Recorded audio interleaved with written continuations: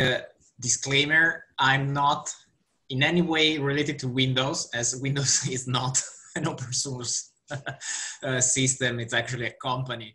Um, but the objective of tonight, so why, why did I propose this session? Because uh, by teaching in, in um, carpentries uh, workshops, I've seen that there is a strong focus on Linux and, and Mac, as Mac uses the same uh, system.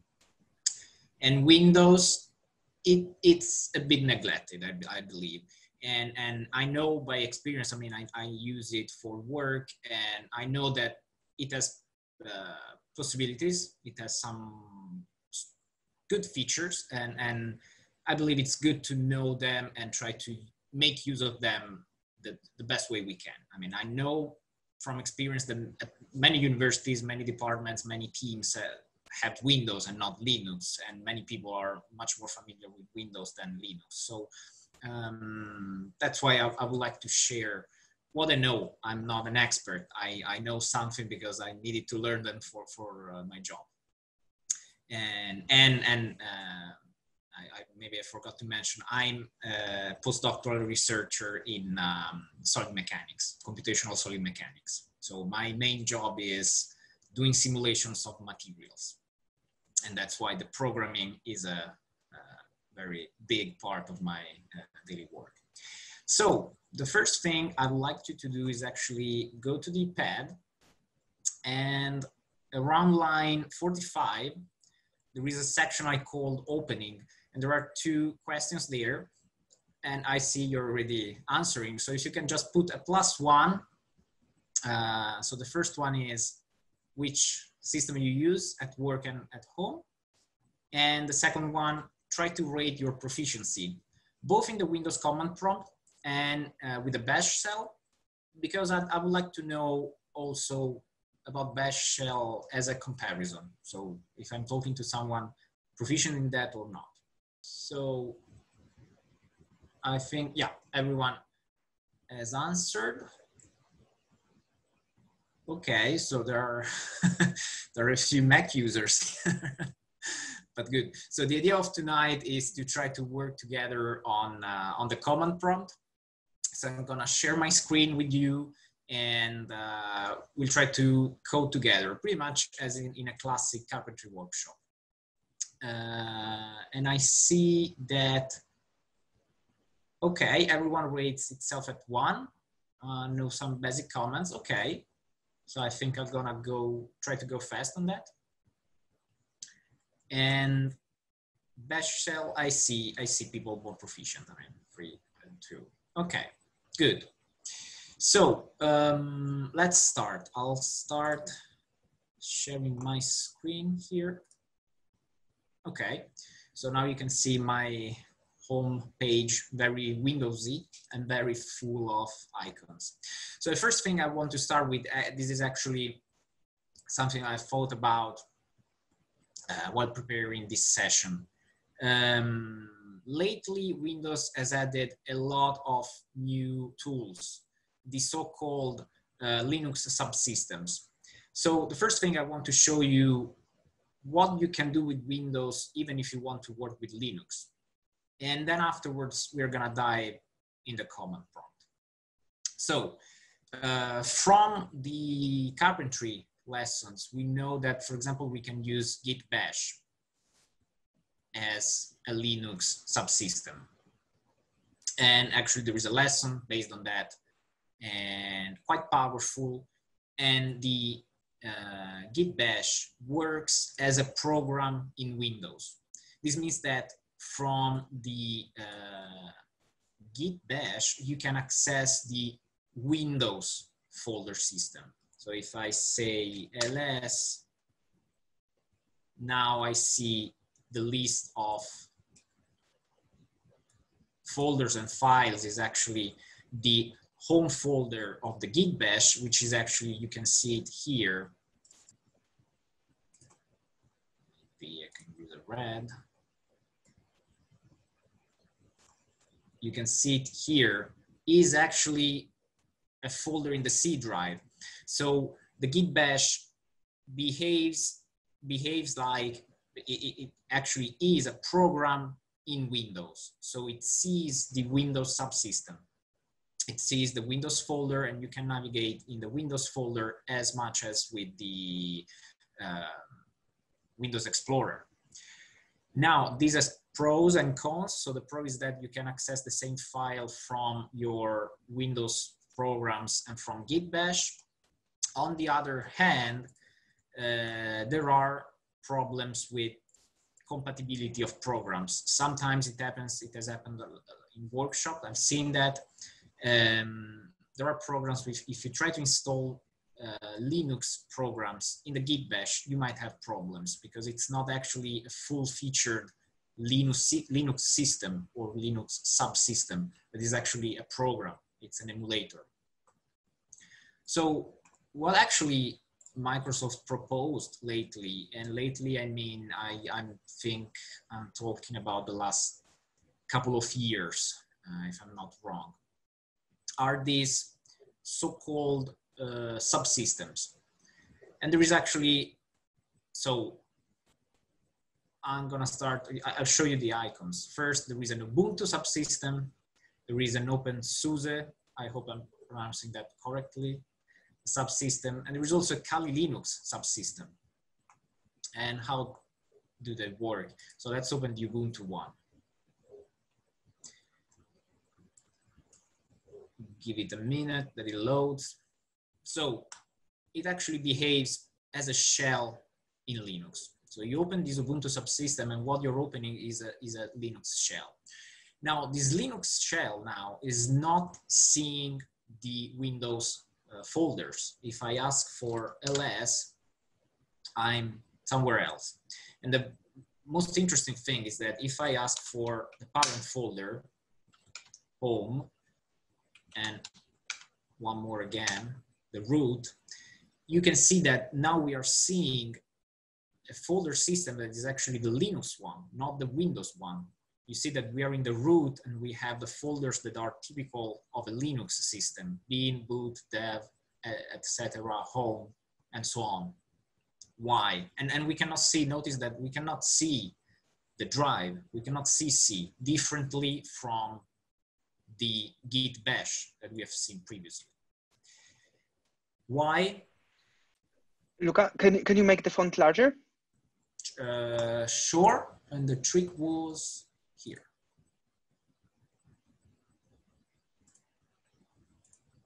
Better? Yeah, that's better. Thank you. Yeah. And um, so what, what, what is this thing now? So this is actually pretty much a virtual machine. So that what these subsystems are.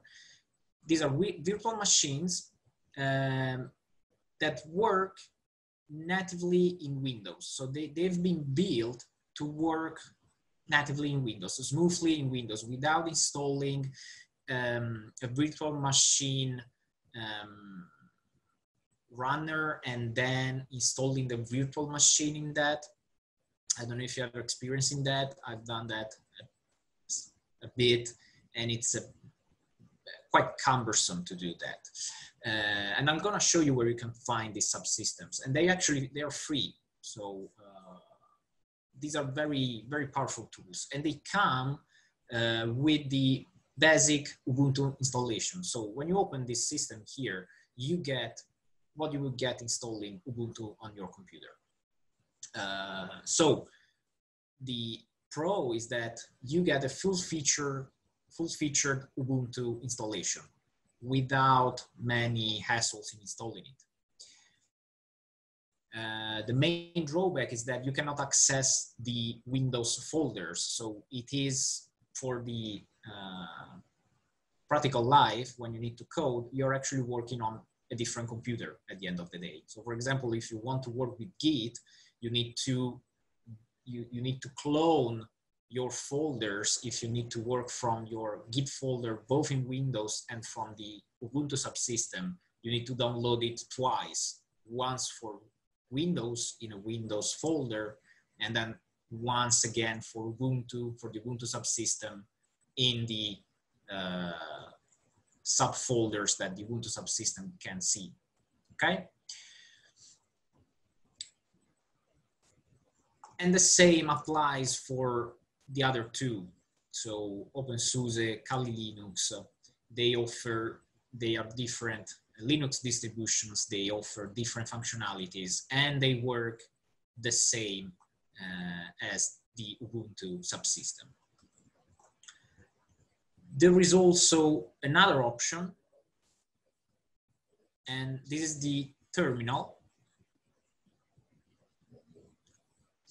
which is again another uh, relatively new program by Windows, again free for Windows users. And the interesting thing is that the terminal is, um, within a minute because, okay. Uh, the terminal is, as, as the name, the name suggests, a terminal, but the powerful thing is that you can use different backends. So the default one that opens up is the Windows PowerShell. But you can use the command prompt, so uh, Windows again, but also Ubuntu.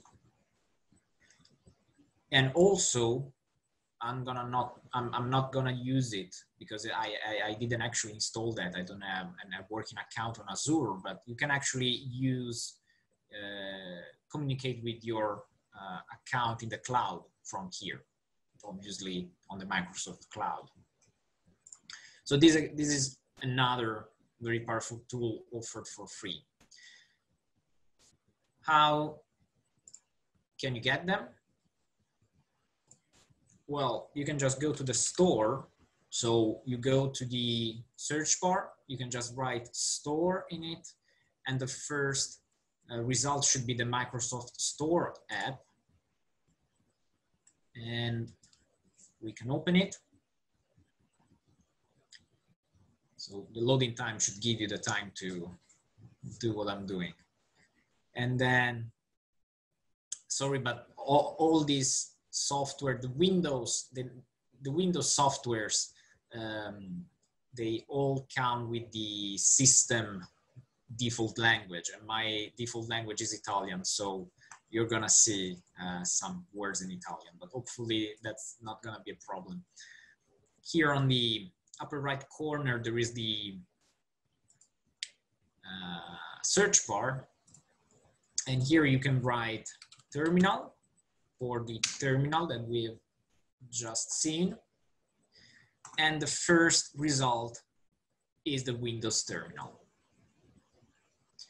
Now, if you want the Ubuntu subsystem, you can write, well, you can just write Ubuntu and you see that you have first three suggestions are actually about Ubuntu. Actually, you can see that I have the previous version. There is already the 20.04 version available. Let's check that out. If you click on that,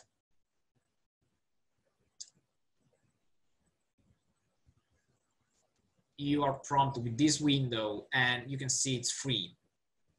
And then you can just click on download it, have it. I'm not sure what in, in uh, the, the, English version of this page uh, says. Uh, you can just click on it and the Microsoft Store application will download and install the Ubuntu subsystem automatically with almost to none interaction from you. So you just need to say okay, and then you'll get your Ubuntu installation on your Windows computer. So, and if you prefer Kali Linux, you can just type Kali Linux. And there you go. You get your, or you can install your Kali Linux again, free or open source and you get again here there is a couple of version available. And same trick. I've already installed it. You can uh, say install it and you get it on your Windows computer. So this is for the initial intro to the tools that Windows now offer. So I, I, I believe this is really uh, recent, as I, as I said, it's the last two, three years with the release of Windows 10. and uh, I believe this has made Windows much more powerful than before. Now, for the command prompt, how I, I believe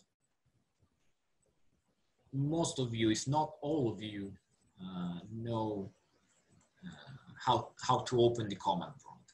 But I'm gonna start from that, okay? So please, if, if you know that, just uh, be patient. so if you don't have the command prompt on your um, bar here or in your start menu, which is usually the case if you don't use it, you can just go to the search bar and write command prompt. Um, I have more than one actually here.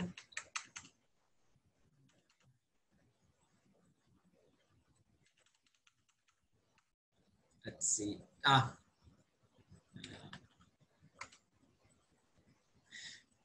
It's actually, so if you write in, in if you have an English based uh, computer, you can just write command prompt. I have an Italian uh, based system, so I need to write the Italian version. But that's where you can find your command prompt on your Windows system.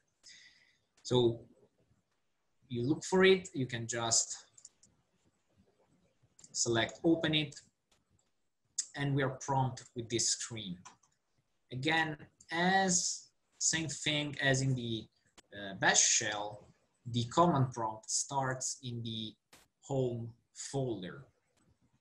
So in Windows, the home folder is usually the user folder, which means that if you have, even if it's not shared, your the home folder from the command prompt is gonna be in C or the main drive, then uh, slash users, and then slash your login name. So in this case, C users Luca D, my login name on this laptop, although this is my personal laptop. So, and this is the, how the command prompt appears.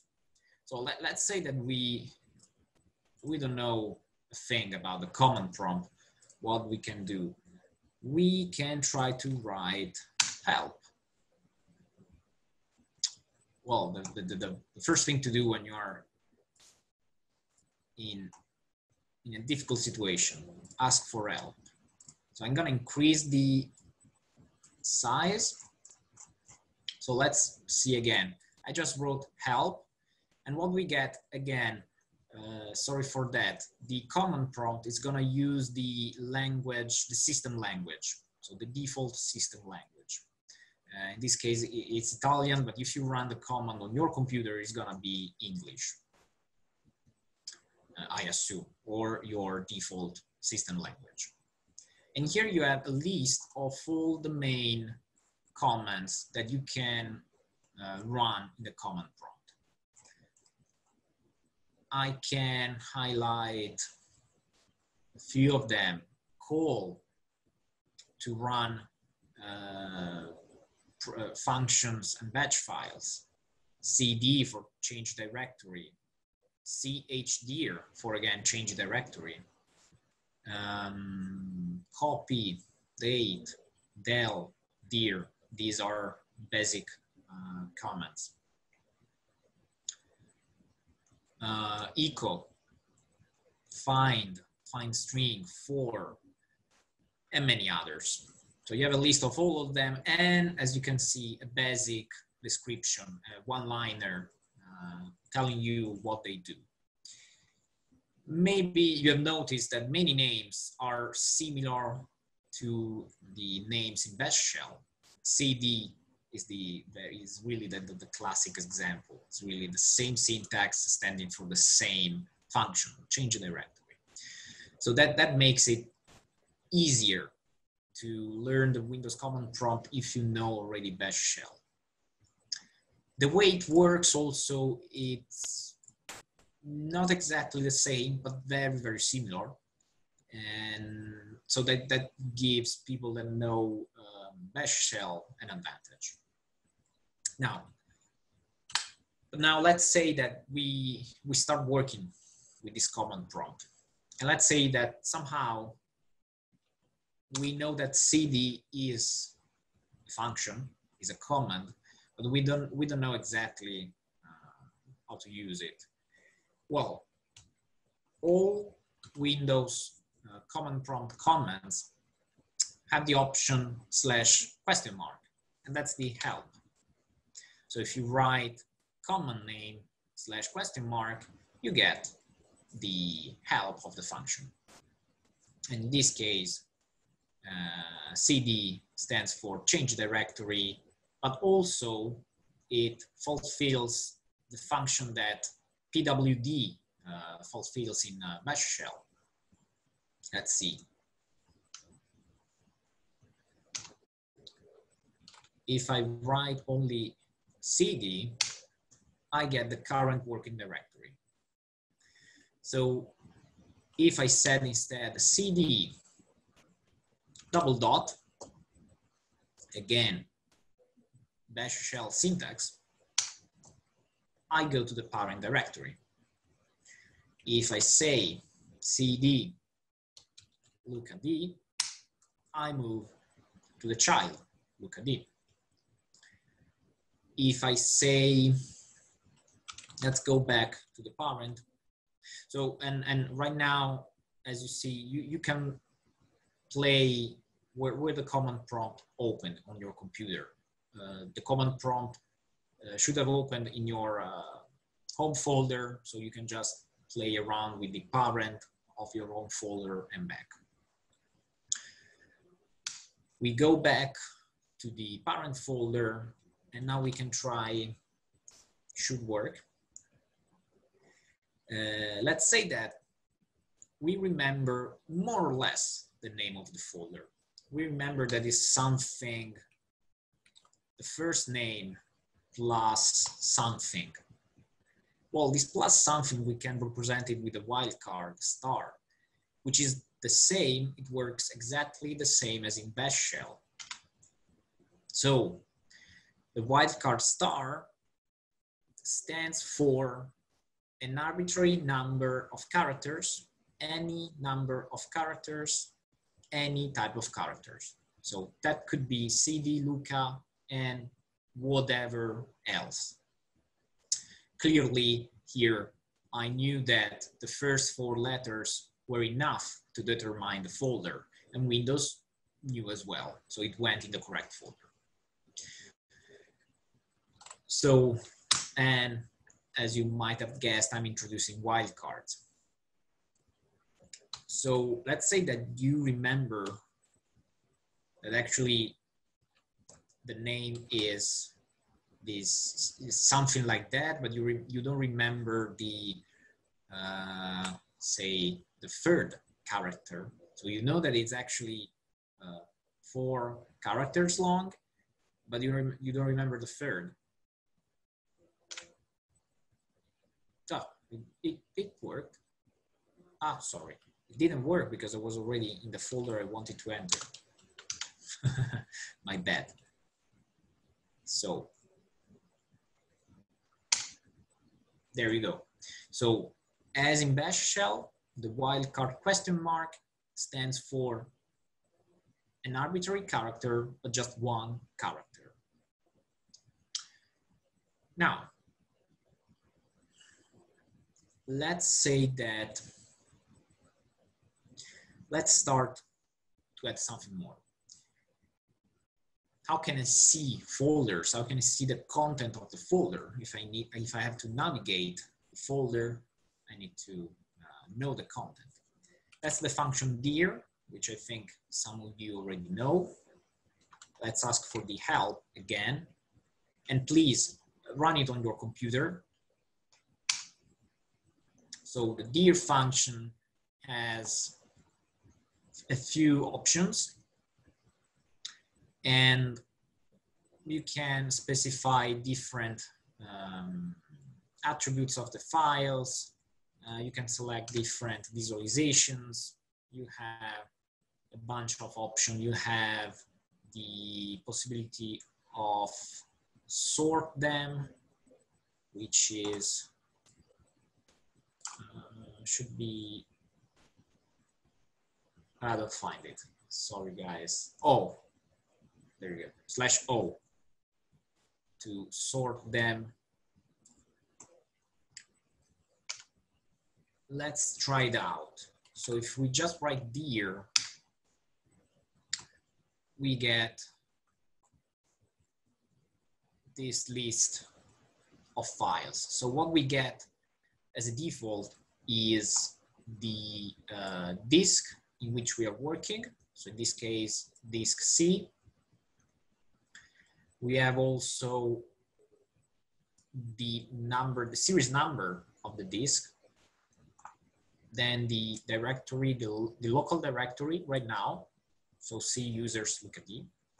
And then we have this list of files and folders uh, with the timestamp, so date, time of the last modification. Then we have the string dir if the entry is a directory, is a folder. And then we have dot for the current directory, double dot for the parent directory, and then we have dot name for the um, hidden folders. So as you can see, the first two dot and double dot, they are the same as in the bash shell. So dot stands for the current directory, double dot stands for the parent directory. Then there are the hidden folders, and these are uh, typical of Windows. And these are the folders that if you use the Windows Explorer, you need to go in the options and switch their visualization on. And then if you move down, you get all your files and folders listed. Now, let's say we want to create folder here. That's the make dir function, mkdir. And as you can see, the syntax is the same as in bash shell again. Let's again ask for the help. Um, creates a directory. And you have different options again. You can navigate them. Let's play with it. So let's create a folder called session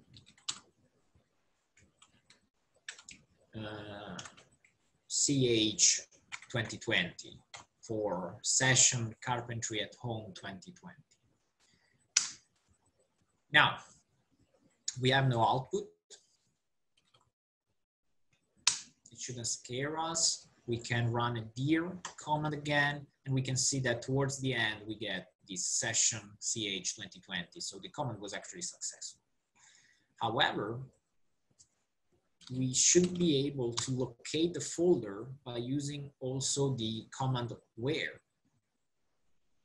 So I believe the name was this, where session CH 2020.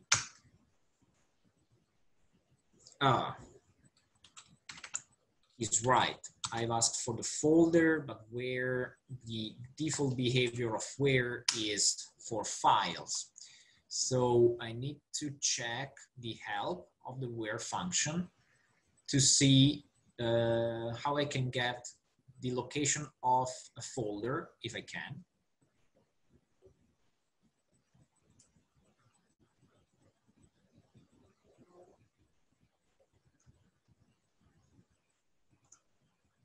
I can't. I'm sorry. I'm sorry, guys. With the where function, we're gonna run another example with that a bit later, just in a minute. Uh, what we can do, if you remember, is actually using the dir command. Let me try. Yes.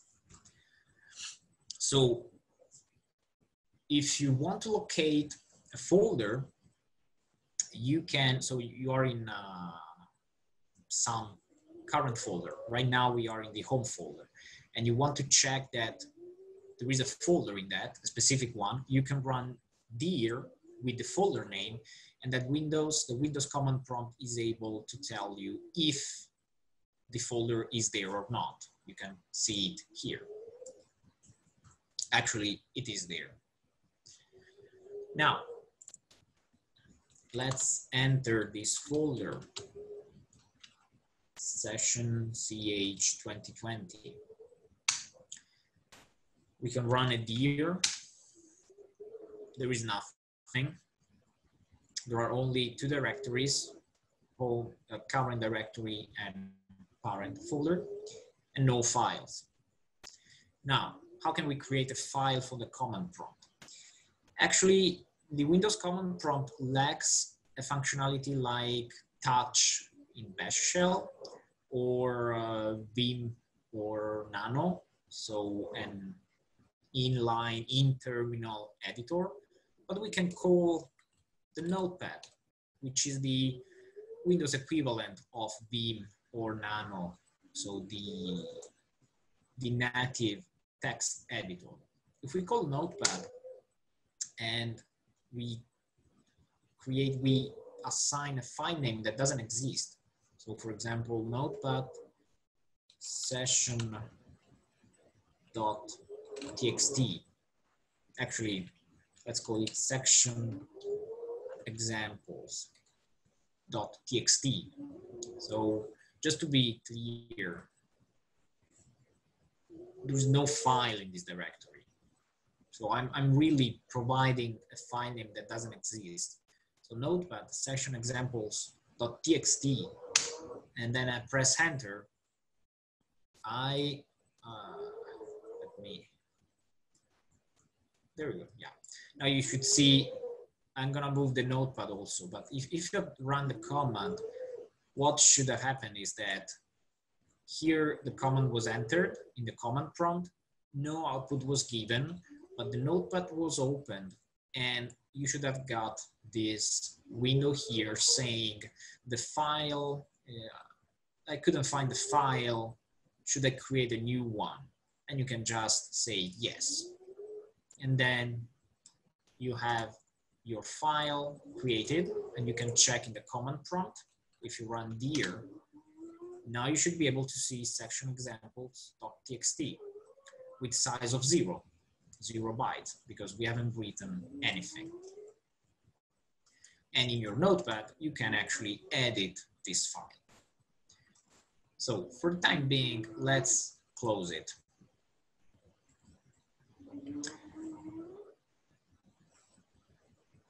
And let's try out the command I was mentioning before, where. So you know a file, you're interested in finding a file, you don't, you don't remember where it is, you can run the where function. So where session examples.txt. Well, now the search, this search is pretty simple for Windows because we are asking for a file that is in the current directory. So it's quite fast. What we are, what we got is the locations starting from the drive. So from C up to the file, we get the full file path. Now let's try it out the same function from the parent, the, the, the grand grand parent, so that it should allow us also to play a bit with file path.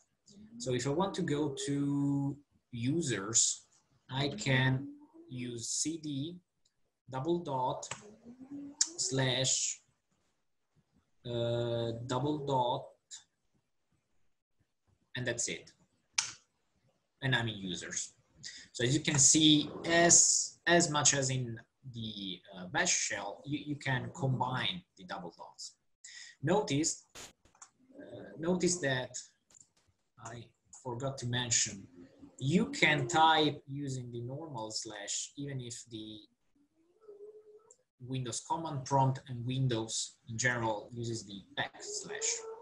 So it is actually agnostic with respect to which one you use. You can use both of them and it, it will not matter. So use the one that it, that's easier for you on your keyboard. For me, for example, it's easier to use the slash and also it's a matter of uh, habit as I code a lot in Python and I've been using more the bash shell, it comes uh, easier to use that. So now we are in the grand, so grandparent of the folder in which we were. And let's ask again for where that file is. Now, let's say that we are lazy and we don't want to type again the, uh, the previous call to the where command. What can we do? We can use the arrows. So if you use the up arrow, you can navigate through the history of the command prompt, pretty much as in the bash shell. So up arrow, you move back in time, uh, down arrow, you come back to the present time. So right now what I'm doing is pl playing with the arrows up and down and I'm looking for this command here, where session examples dot txt. I run it, pressing enter, and it's not able to locate that. Okay, fair enough. Uh, we are too far from the, uh, we are not in the, let's see if we can use a wildcard here to make it work. It's not working, okay. But what I want to, to, to show you actually is, is not the where command. Um, we can check the, the help later. What I want to show you is another uh, command to access the history. And that's actually, I hope I remember correctly, F7. So if you press F7 on your keyboard, you're prompted with this window here. And this is actually your history, your command prompt history. So again, F7. And you can navigate it with the up and down arrow. So now, let's say that I want to run a dir command. You can just go on the dir command and press enter it, and it's run. There is also another way to access the history, and that's DOS key. Let's ask for the help. So I suggest you ask for the help of this function. So DOS key is a very powerful function because it's actually um, linked to macros. You can uh, edit macros with that, but we can also just use it to access the history. And that's the option history here. Or also we're gonna see. And also I'm gonna highlight for you again, it's in Italian, but if you check on your computer, you're gonna get in your uh, language, I believe English, uh, how to access what, what I've just said, basically, up and down arrow, um, F7, um, and then we're gonna see also F8 and F9. Now,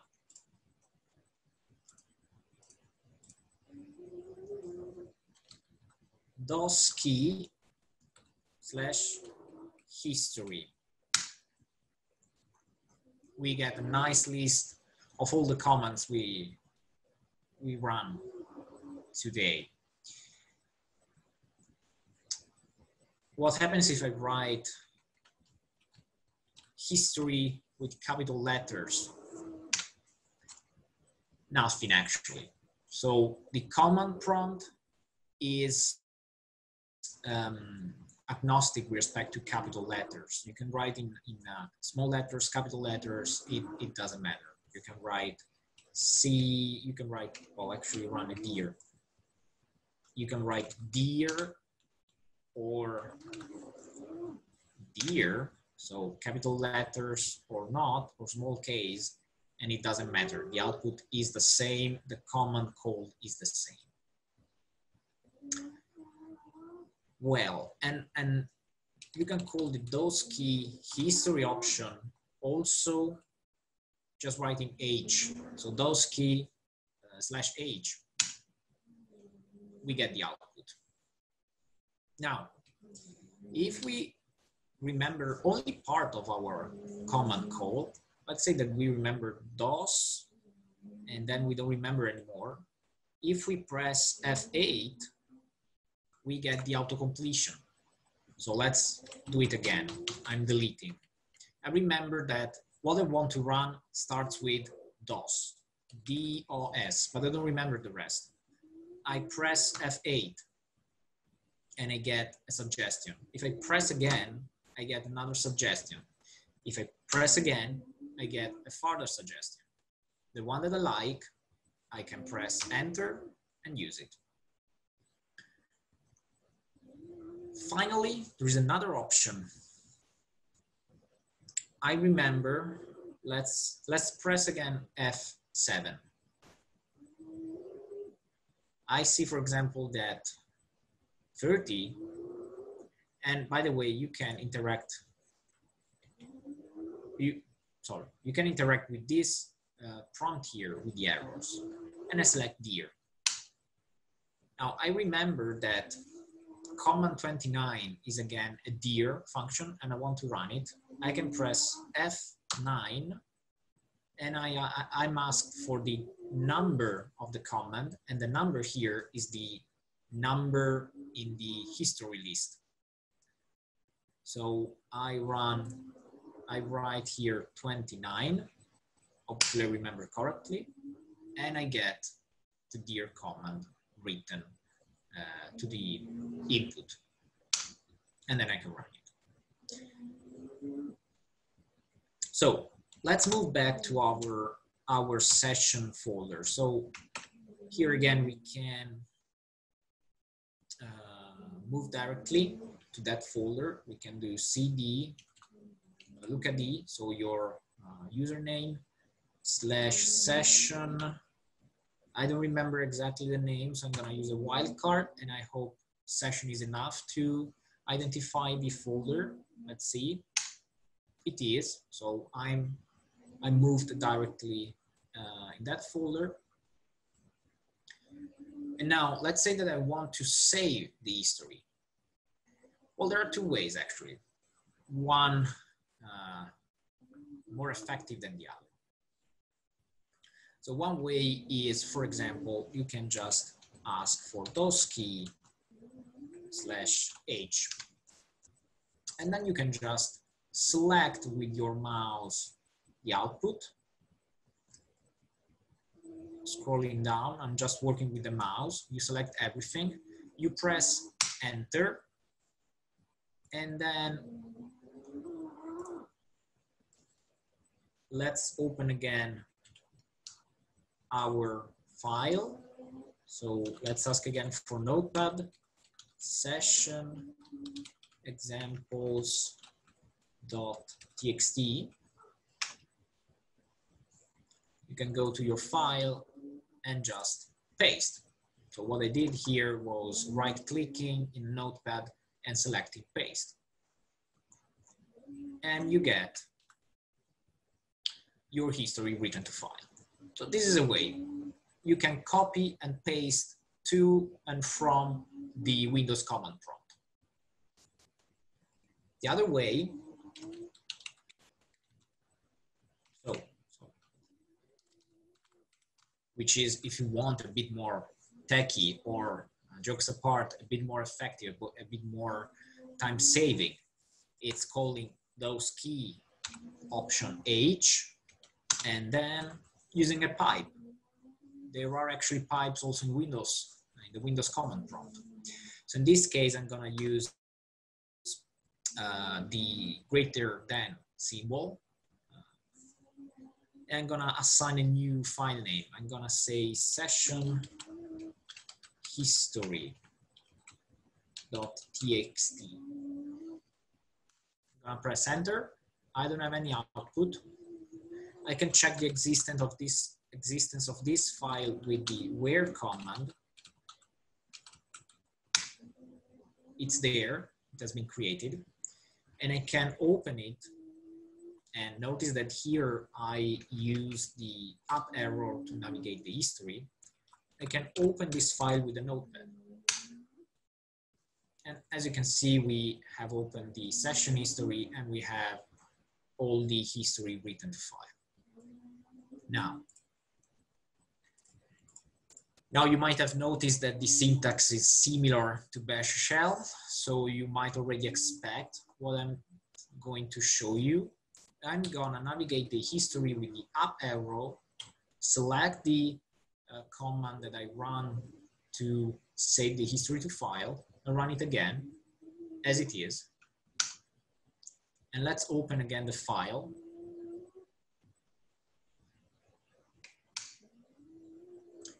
And as you can see, so the first command was help, and the last one, DOS key option H. As you can see, we have uh, overwritten the file. So the single pipe here, the single greater than, single arrow symbol is uh, write the output to file instead than writing it to screen and override if the file already exists. Now, what happens if I want to append? You might expect those that are that those that know bash shell might expect what I'm gonna say. So right now I'm navigating the history, trying to find this line here. And I'm gonna write this command here. Let's see. The command was successful. No error was printed to screen. I'm gonna open the file again with a notepad. And so the first command was help, but if you scroll down somewhere, what happened here?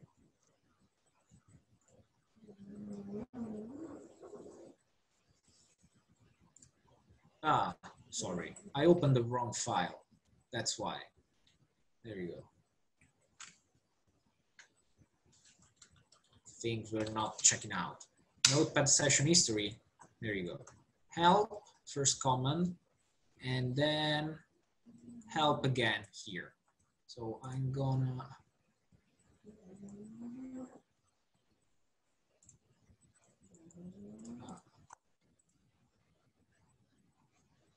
well, I'm not gonna lose time changing the character. This is really very quick. So first line help, and again, it is repeated. So what we did is we appended the content, the second, the content of the second command to the file. And people who know bash shell will recognize the same syntax. Now, um, let's let's start try it out.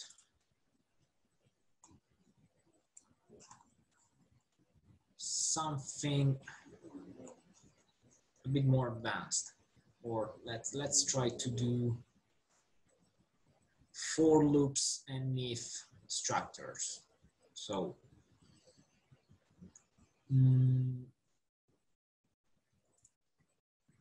let's open again our session examples .txt file. Now we can delete all the content. And now I'm gonna need to change the, the format. Um,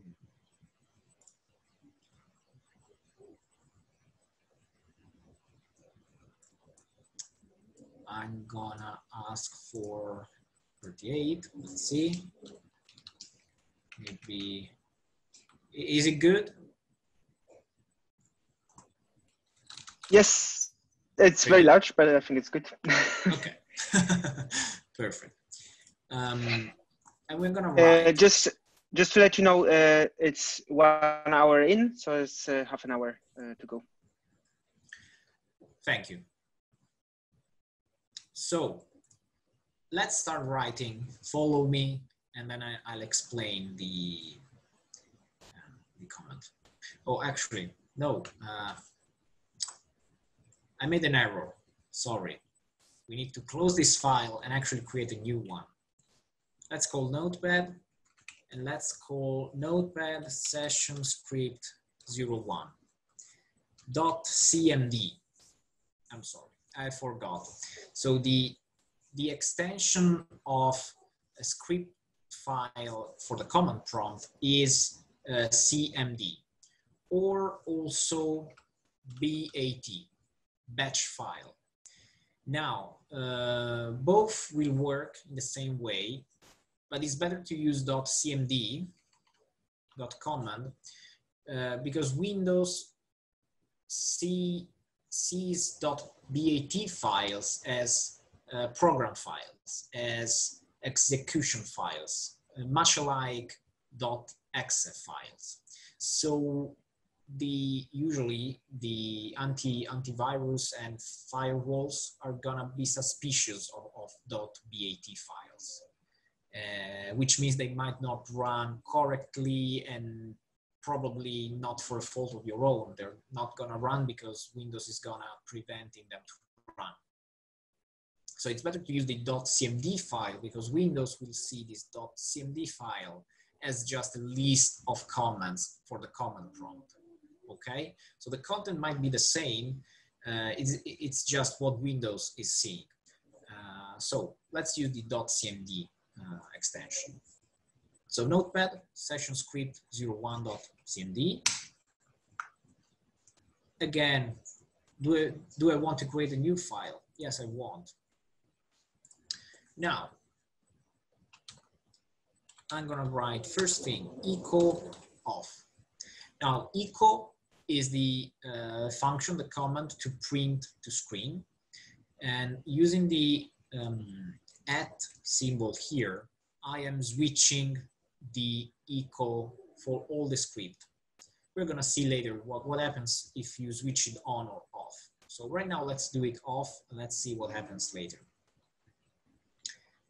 Also, let's say that we want to write some kind of intro, some kind of comment.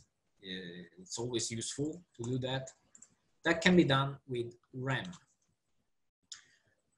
Rem and after rem, everything that you write, so please, comments in Windows command prompt uh, script files should be on a new line always. Otherwise, you can have messed up behaviors. So this is how the interpreter interpreter works line by line. So if a line is a line of code, there should be no comment. If you want to write a comment, start a new line. And here we can simply write, uh, this is an example script for our session.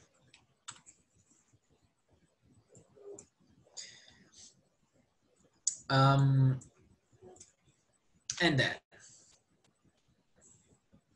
let's try out a for loop. For percent symbol, percent symbol, x, variable name, in. Parentheses, open and closed, and then inside the parentheses, a list of numbers in this case, one, two, three, do echo the variable x. And then let's use the function pause. Okay, so let's save it. Notice that you have an asterisk here in the upper left corner if you haven't saved the file. So save it. And then you can keep the, the file open. We can go back to the command prompt and we can ask for session script 01.command. And we have, I'm gonna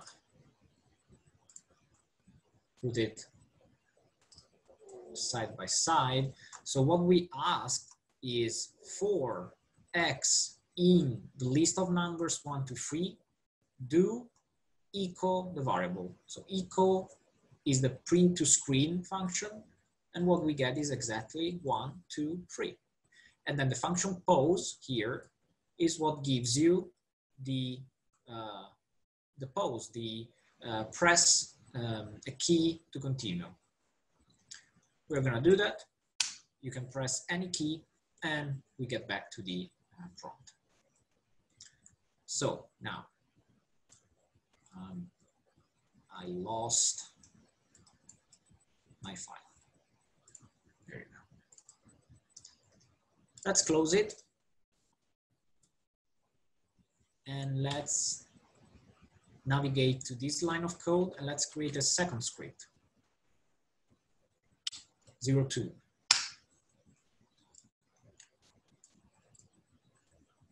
Let's say again, echo off.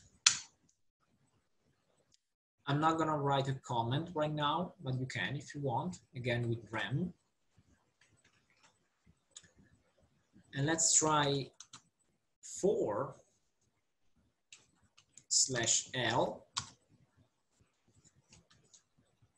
variable X, remember with the percent sign before, the 2% signs are there to tell the Windows command prompt that X is a temporary local variable of the for loop. In. So now the option L of the for loop stands for list, meaning uh, that what you're providing in the parentheses are the initial value, the increment, and the final value. And Windows is gonna open up, the Windows command prompt is gonna open up this list, is gonna calculate all the values inside this list, and then it's gonna iterate inside the list. Let's try out an example. Let's say that the initial value is one, the final value is 50, and we go five by five.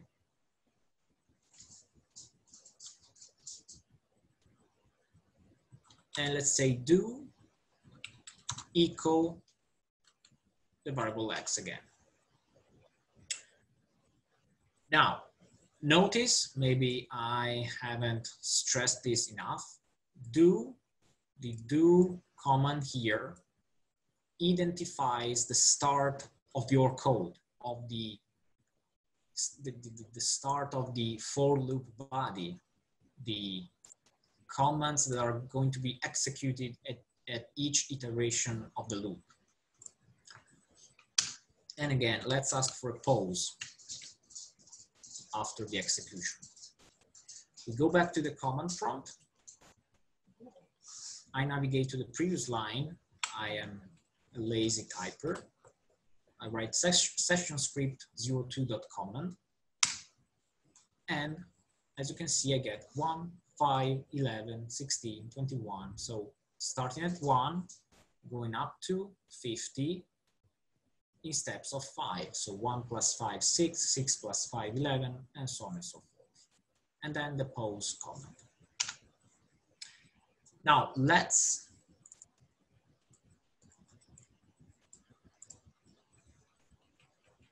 let's write echo on. So this is again session script 02. We write echo on and we run it again.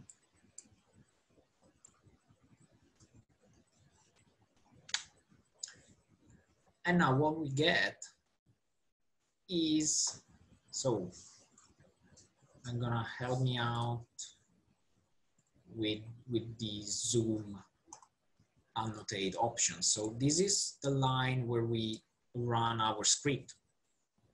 So here starts. Here you get the line of code that is going to be executed. So this is actually the content of our file. And then at each iteration, you get the function, the code that is executed at each iteration. So at iter in iteration one, you have echo of one, output one. Iteration two, you get echo of six, iteration six. At iteration uh, three, you get echo of 11, output 11, and so on and so forth.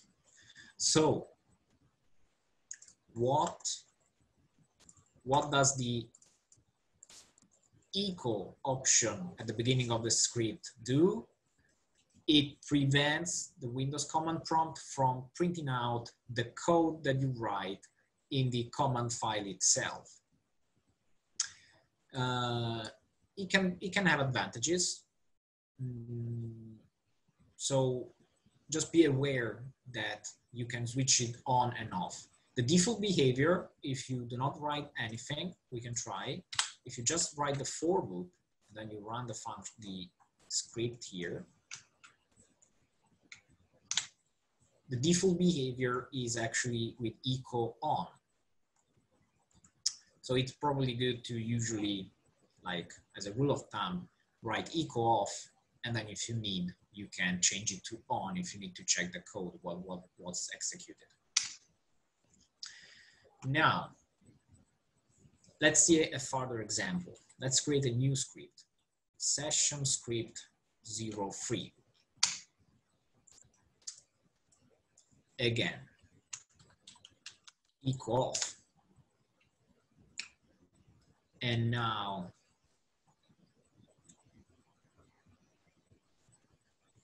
let's ask for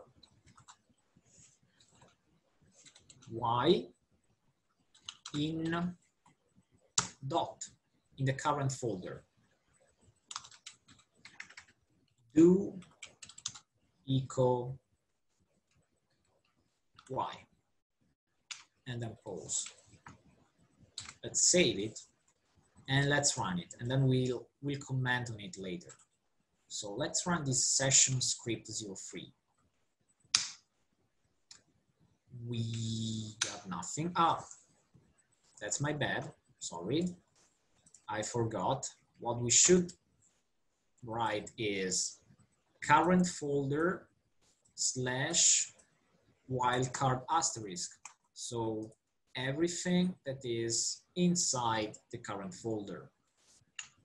So correctly right now, the command prompt was listing only, as you can see here, was listing only one dot, the current folder.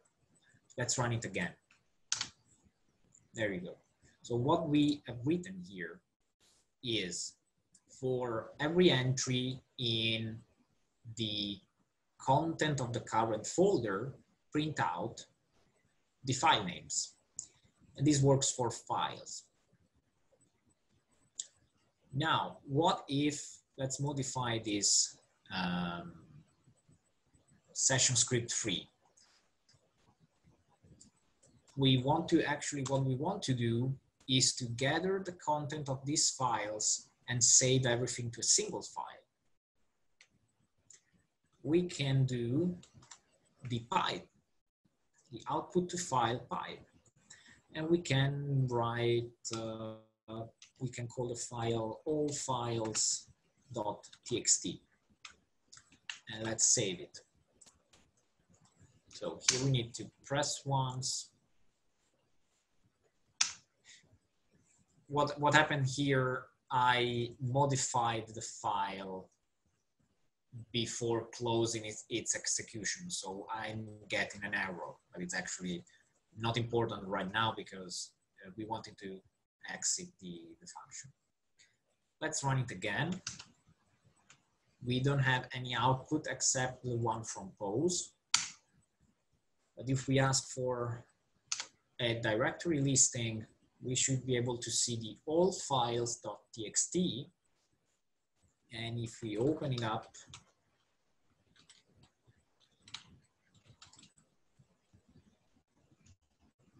oh, sorry, notepad, all files.txt,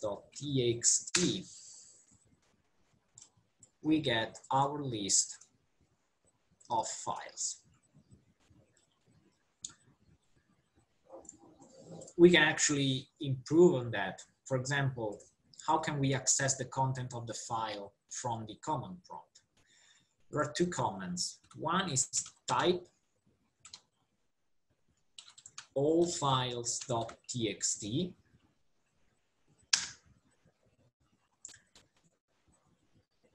And the second one is more all files.txt. Now, you cannot see the difference right now, but what, what we can do is um, we can, for example,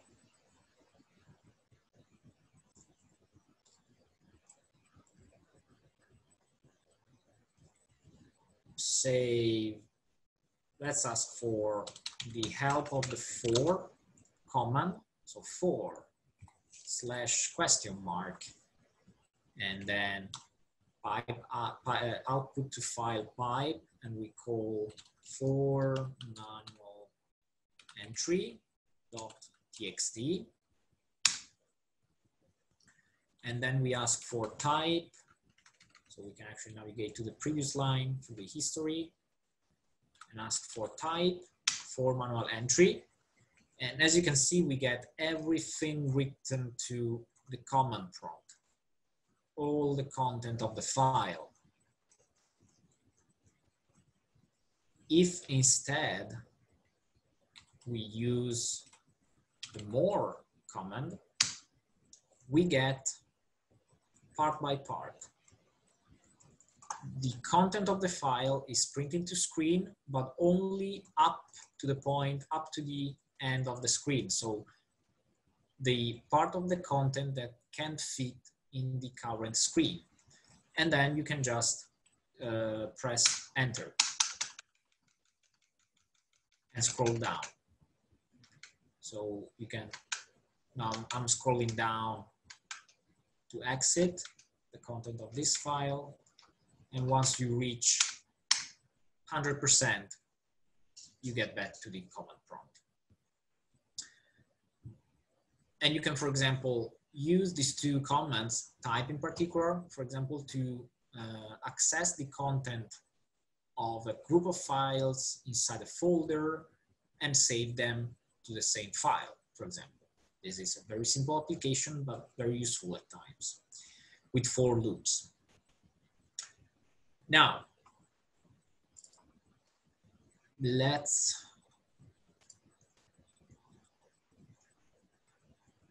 um, let's see a further example. Let's see a further example. I hope I can show you two more examples. So Let's create ses session script 04, notepad session script 04 dot common. And now let's write again echo off. And now we can actually create variables in a command prompt, uh, in a command script file. And that's done with set.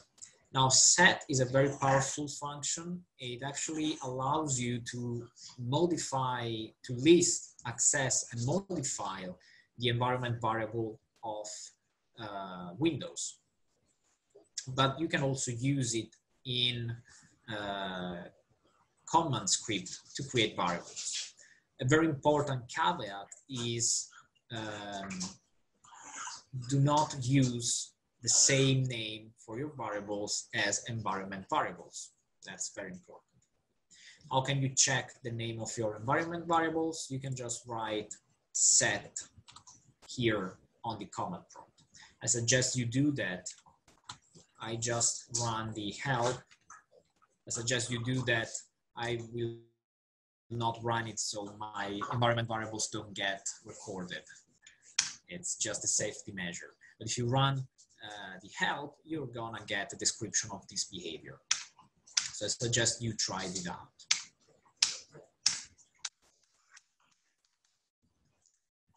Let's get back to the script.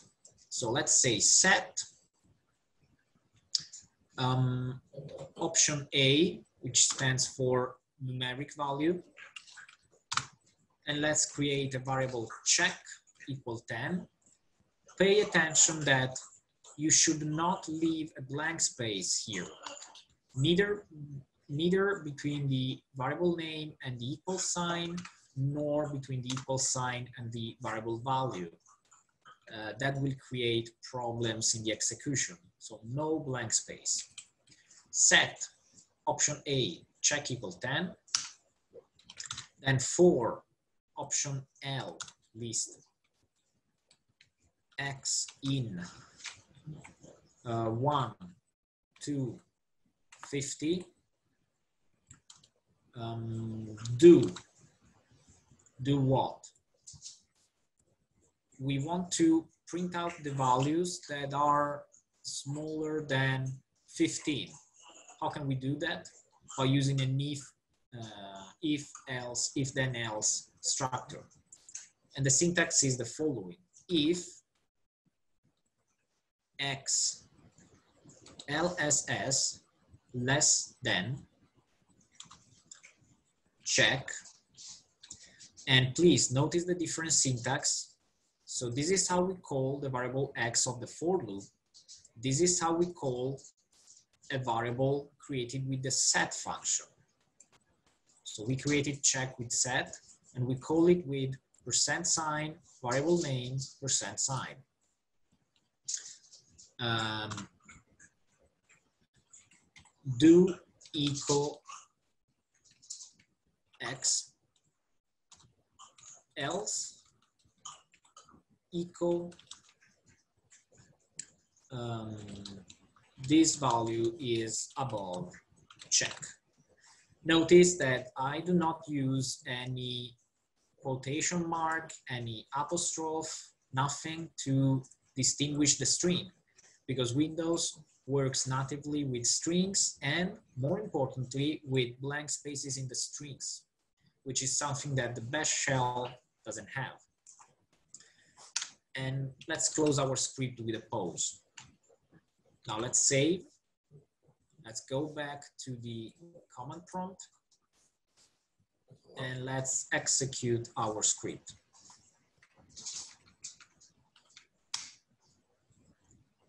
and let's examine the um, output. Five minutes? Yes, thank you. Perfect. So uh, now I wanted to print out the values that are smaller than check, so smaller than 10. And that's what we get, one, three, five, seven, nine. And then the rest, we get the output, the value is above check. Now, let's write our final script. This is gonna be session script five. So notepad, session script five. Now let's bring it back here again. Echo off. And now let's create a function. How do we create a function? Now, I suggest you can leave a blank line and then we can start our function. So function name, function definition are gonna be written at the end of your script file. And they start with a colon. Uh, we can call the function list files. And the function does the following. It creates the variable files list, which is equal to the first input variable. So this is the syntax for the input variable to the function. Percent sign, tilde, number, position number. So this is the first input of the function.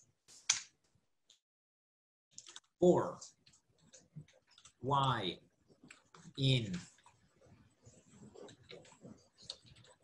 files list. Notice that here we use the syntax for variables created with the set uh, function. Do echo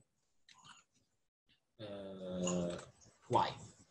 So this is a small function that encapsulates the code that we wrote before and we need to close it with the command exit. exit B zero. The option B is telling the exit function that we are closing a function written in a command script, that we are not closing the prompt, but just a function. And zero is the exit code. Zero is typically the everything is right exit code. And now here in the line that we left, we can actually call the function. And to do that, we use the function call. So call file name, so list files with a colon here. And then our input um, input value. The input value is gonna be C users Luca D so the home folder of the command prompt. So drive users your username.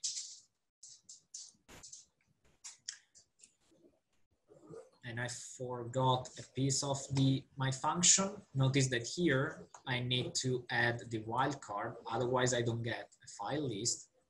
And notice that here strings are joined together without any operator.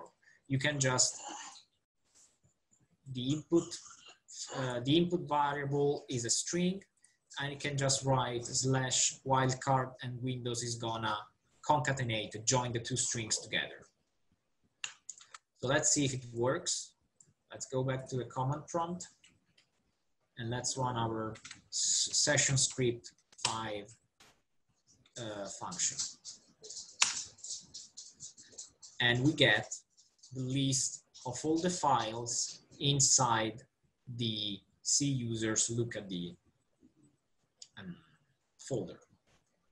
If we want to compare it, we can actually ask cd, uh, sorry, we can ask dir c users look at this. Uh, well, what we can do is we can say cd, very last thing. I hope it's not too much for the last minute. Here, for example, we need to run two commands, cd and then dir. We can concatenate them with the double ampersand, so the double and this is the logical end. Run cd double dot, go to the parent folder, and then if the first command is successful, list the files. And if you want, you can check the two outputs, but the files are gonna be the same. And it's 9.30. I'm gonna close here. I'm gonna ask you to, here's the pad. I'm gonna ask you if you would like to answer the uh, free closing questions. Uh, you can just put a plus or minus, plus for yes, minus for no. If you want to leave a comment, feel free. Thank you for listening and following. Thank you, Luca. That was fantastic. Um, yeah, thank you, thank you, everyone. Uh, Kevin had to leave uh, earlier, uh, just uh, one minute ago, so he's seen almost all of it. Uh, I try to put uh, type in all the commands in the Etherpad, so you should be able to use it as a reference uh, afterwards. Um, I want would like to ask you to fill in the so fill in the questions from Luca at the bottom of the Etherpad, but also on the line. Let me find this. Mm. Mm. On the line 34, there is a feedback survey. Um, this is the survey from the carpentries. It's very important that you fill it in. So please uh, take a moment after we finish the session.